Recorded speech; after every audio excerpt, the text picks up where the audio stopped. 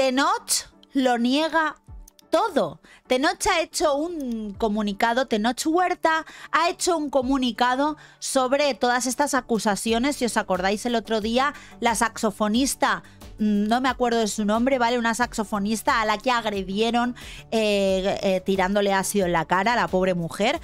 Em, le acusó públicamente de ser un depredador sexual y estafador eh, porque les debía, eh, Poder Prieto le debía dinero, le debía dinero por, bueno, utilizar su música sin su permiso, pero lo importante es la acusación de depredador sexual.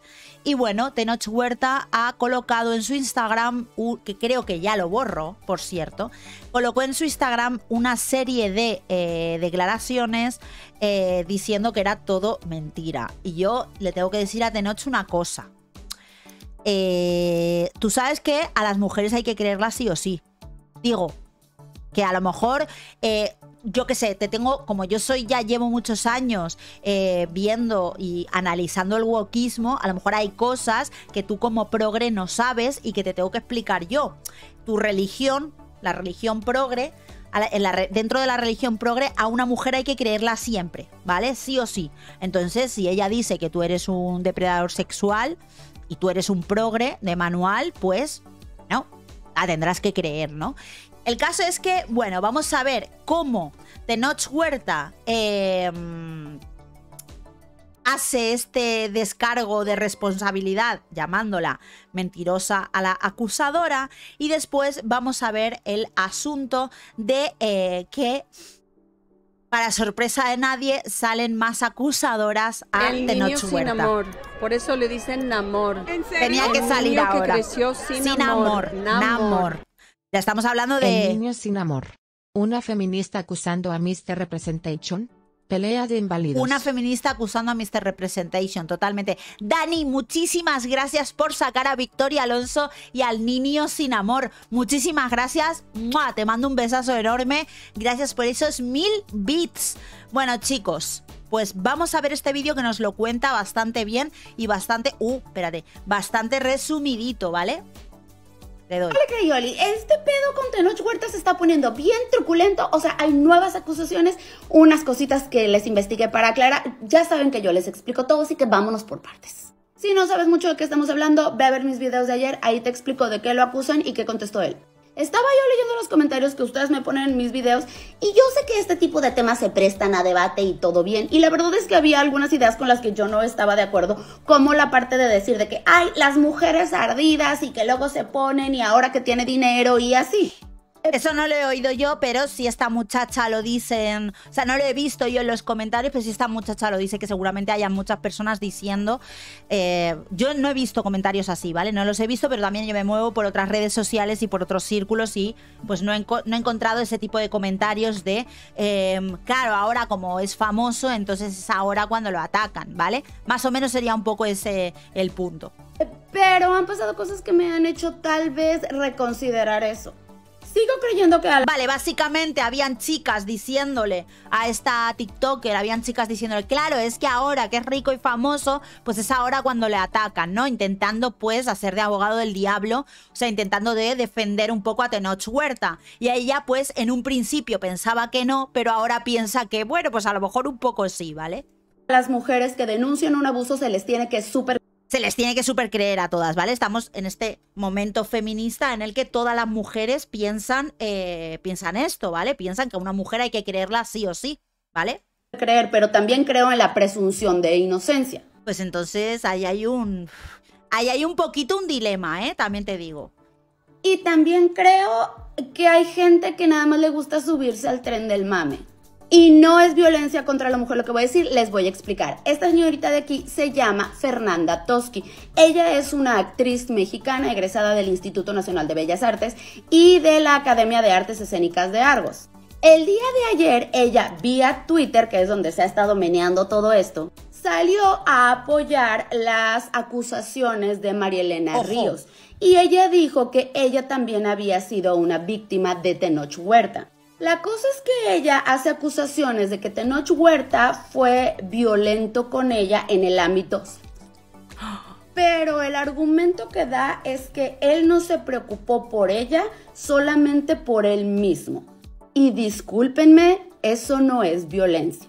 Bueno, ahí estamos es de un acuerdo. machito hijo de la chingada, pero una también tiene que hablar, tienes que saber qué te gusta, cómo, por dónde, y entonces ya tú lo platicas con tu pareja. Tampoco es como que una persona con la que tienes por ahí de O sea, básicamente esta chica ha dicho, la que le acusa de agresión, ha dicho que yo esto, a ver, yo estoy aquí comiendo palomitas. Para mí esto es una pelea de inválidos. O sea, si la acusación es que él, en la relación sexual, afectivo-sexual que mantuvo con Tenoch Huerta, él solo pensó en él mismo, pues eso no es una agresión, ¿vale? Eso no es una agresión sexual y eso no puede ser sinónimo de mm, si es eso lo que está contando, ¿vale?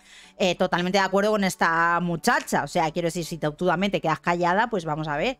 Eh, el caso es ese, ¿no? No voy, o sea, si esta señorita que esta señorita que le acusa cree que eso es una violinización, pues yo lo siento mucho, pero yo no estoy de acuerdo. Entonces me parece una bueno, ya ya veis, o sea, para esto ha, quedado el feminismo, ¿no? Para eh, catalogar como violinizaciones eh, relaciones sexuales eh, insatisfactorias.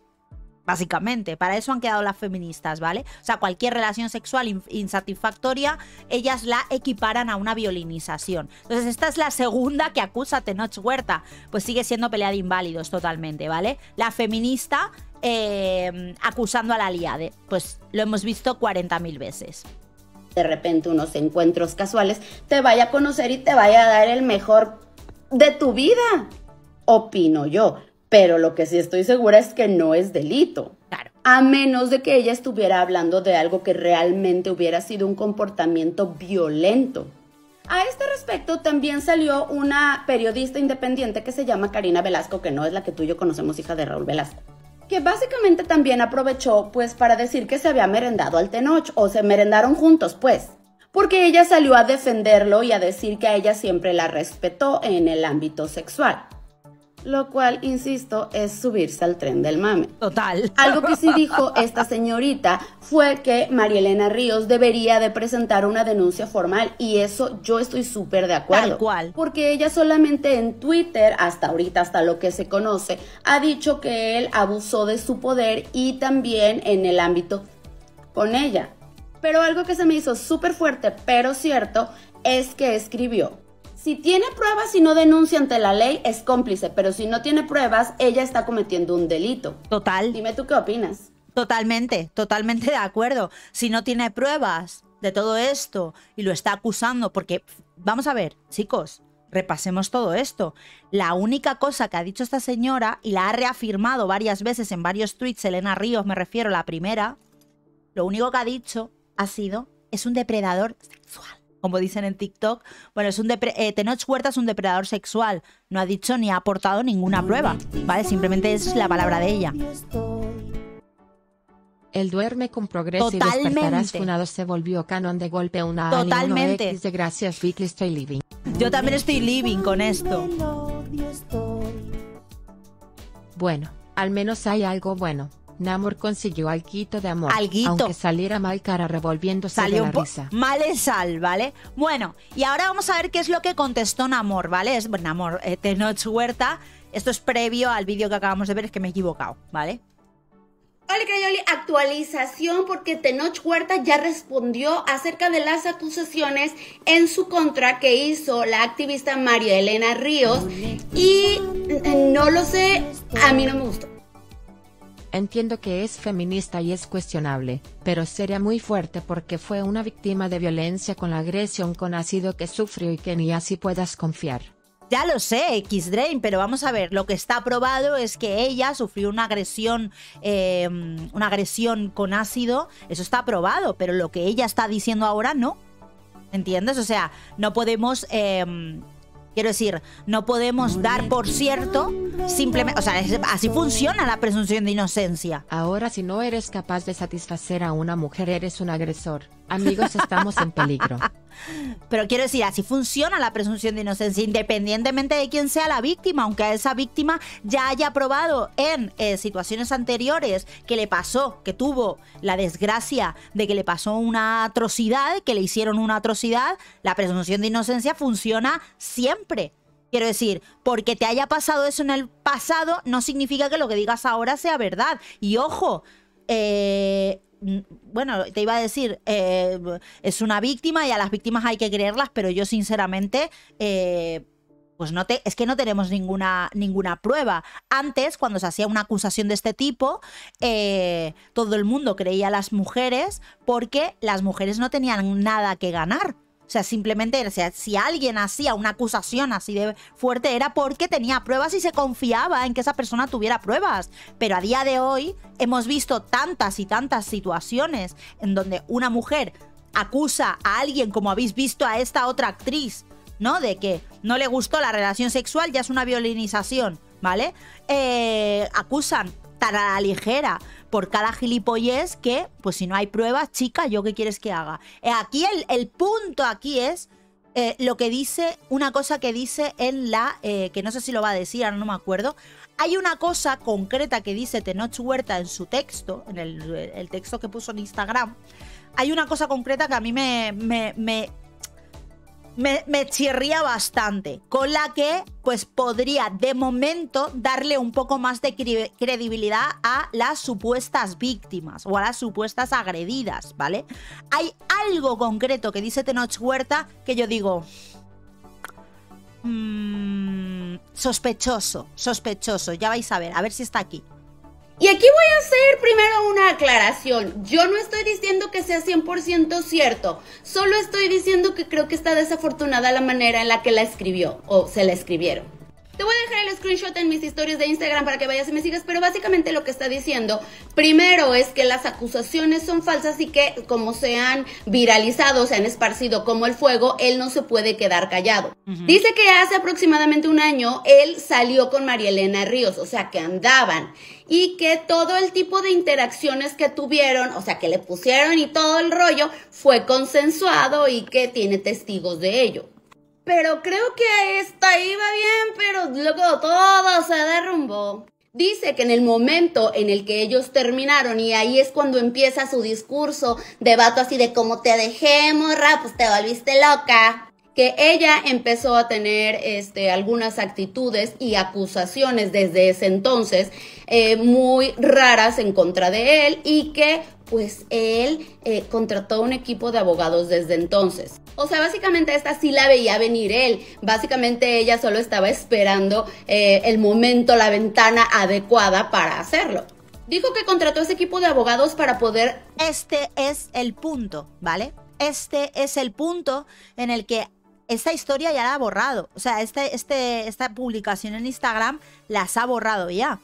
El punto de todo esto es que ¿por qué contratarías a un gabinete de abogados cuando acabas con una persona concretamente para eh, lidiar con algo que todavía no ha pasado? Es decir, una acusación pública. ¿Por qué lo harías? Ahí ya yo también digo, aquí hay algo extraño, ¿vale? Aquí hay algo extraño, como que se lo esperaba. Menos mal que no fui la única que pensó eso al leer eso. Ese es el punto de todo lo que él ha dicho sobre este asunto.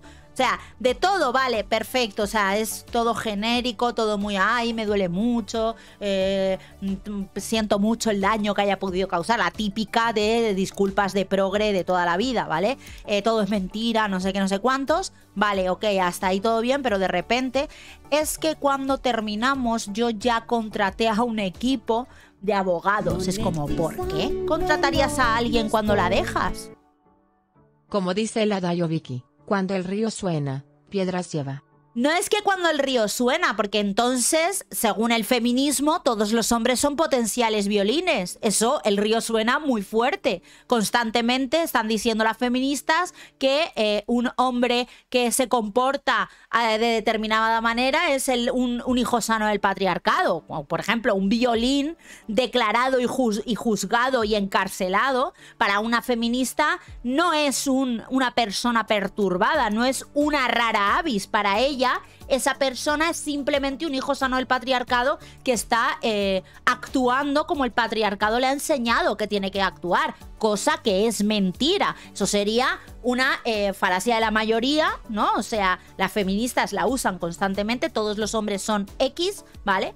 Y pues hay que rebelarse contra esa falacia. No, es que de hecho la inmensa mayoría de los hombres no son así, porque eh, ellas no hablan nunca de todos los hombres que son la inmensa mayoría que se dedican a proteger a su familia, que se dedican a servir a su familia. Eso no lo dicen y eso son la mayoría. Para ellas, las eh, anécdotas, todos esos hombres malvados, asesinos o todos esos hombres violinizadores y tal, son hijos sanos del patriarcado. Entonces, cuando el río suena, no. El problema es Aquí, en este caso concreto de Namoch, en este caso concreto de Namoch, llama mucho la atención, en este caso particular, que haya contratado a un gabinete de abogados hace más de un año o hace un año cuando lo dejó con esta tía. O hace el tiempo que fuera, ¿vale? Porque no se sabe. O sea, hace un año está, eh, eh Namoch estaba saliendo con esta tía, ¿vale? Eh, lo dejan no se sabe el tiempo que están y automáticamente después de dejarlo, ella le acusa de cosas, pero supongo que en el ámbito privado, ella le acusa de cosas y él decide contratar unos abogados. En ese mismo instante. Duerme con feminista y amanece funado, tal cual X-Drain. Es así. Es así y esto es lo que está pasando. Proteger su reputación y poder hacer frente en caso de que tuviera este, alguna consecuencia esas falsas acusaciones como él las llama. Y pues sobre todo yo digo que para proteger el contrato con Disney. También. Termina diciendo que él sabe que no es perfecto, pero que sí sabe que estas acusaciones son falsas y que todos los días trabaja para mejorar y agradece a su familia y a toda la gente que lo ha apoyado. Pero aquí ahora sí va mi aportación personal. A ver. Creo que fue muy desafortunado porque si te están acusando de violentar a una mujer en cualquiera de sus modalidades, lo peor que tú puedes salir a hacer es regresársela con violencia. En lugar de haber sido como the bigger person, como el haber sido más cabal o haber sido mejor asesorado en la escritura de esto que cabe mencionar que la puso en sus historias, tanto en español como en inglés, Pudo haber salido a decir solamente que era falso, pero no echarle tierra a la morra. Yo no estoy defendiendo a ninguno de los dos, solo estoy hablando en em, cuestiones de marketing y porque al final... Sí, por quedar bien, sí, aquí tiene, un tiene, tiene algo de razón. Por quedar bien, eh, a ver, ¿para qué vas a decir que es, ya tuvo un esta tía ya te acusó en privado y tuvo un comportamiento extraño y que por eso tú contrataste a abogados. ¿Para qué decir eso? O sea, cállatelo, cállate la boca. Si de verdad lo hiciste, cállate la boca. Porque quedas tú peor y quedas como el sospechoso. Huele a peje de maruca. Totalmente. Y para los pobres es cuando el río suena ellos se tiran, porque no pasa nada. Exactamente, exactamente estás en un juicio constante de cómo te ve la gente, de cómo lo perciban y eso va a influir muchísimo en tu futuro y creo que aquí el que más tiene que perder es él. Exacto. Dime tú qué opinas, segura. Exactamente, pero es que fijaos en estos tweets de aquí, ¿vale? Este de aquí, este de aquí lo he visto hoy. He visto, este tweet sigue Em, sigue en Twitter, ¿vale? Pensé que me lo había guardado, pero no me lo guardé, así que tenemos esta captura, ¿vale? Pero este tweet está. Dice, todos somos, en el 2017, de Notch, decía, todos, todos, bueno, todas, todas arrobas somos potenciales violinizadores, asesinos, priistas, que no sé qué es, perdonarme, hijos de puta, etc. Por ser seres humanos y no por tener verga no chinguen, ¿vale? O sea, él extiende un poco, o sea, trasciende un poco el pensamiento feminista, intentando eh, decir, todo el mundo es, eh, o sea, intentando, eh, digamos, extender el wokismo hacia el infinito y más allá. Todos somos potenciales, pero no solamente los hombres, o sea, los hombres y las mujeres también, ¿vale? Priistas, no mames, es que no sé qué significa, perdón. Del PRI, un partido de México. Ah, vale. Pero es que mirad esto, y este sí que no lo he visto, ¿vale? Este no lo he visto en Twitter, pero este es de 2015. Este no lo he visto, ¿vale? Esperemos, espero que sea fake. Yo espero que este tweet sea fake. Existen personas que les causa placer explotar burbujas de plásticos, como a mí, que me causa placer someter sexualmente a mujeres blancas. Decidme por favor que esto es fake. Espero que sea fake. Yo espero que esto sea fake. Ah, Tenoch, poniendo eso a prueba.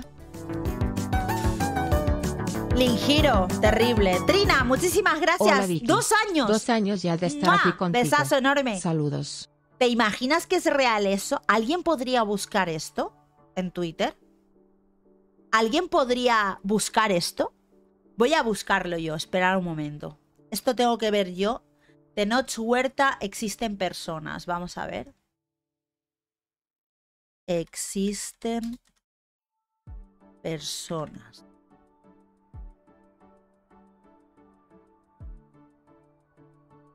No, no lo veo. No. No lo veo. A lo mejor lo ha borrado, ¿eh? De Notch Huerta existen personas. No. No, no existe el tweet. Lo acabo de buscar. ¡Uf!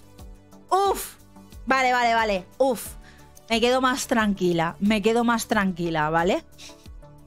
Sí, es del 2015. Ponía ahí que era de 2015. Muchas gracias, Biribuni.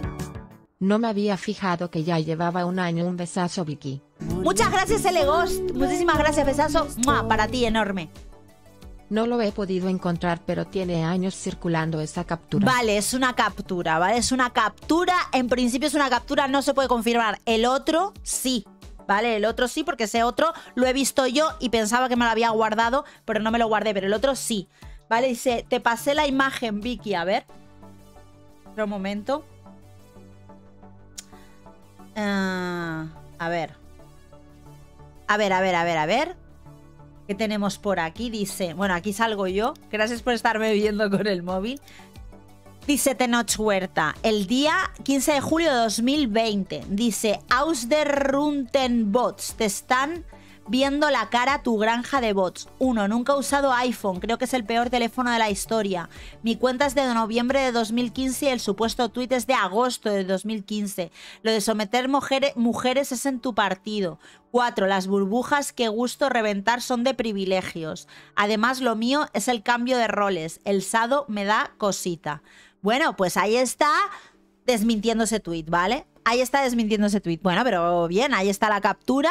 Nada, simplemente hemos descubierto que no había dicho eso. Ok, ok. Pero bueno, según las cosas que están diciendo estas tías ahora, cuadraba, ¿vale? Cuadraba. Así que nada, chicos, eh, esto es las novedades de lo que está sucediendo con eh, Namoch. Así que le damos al out.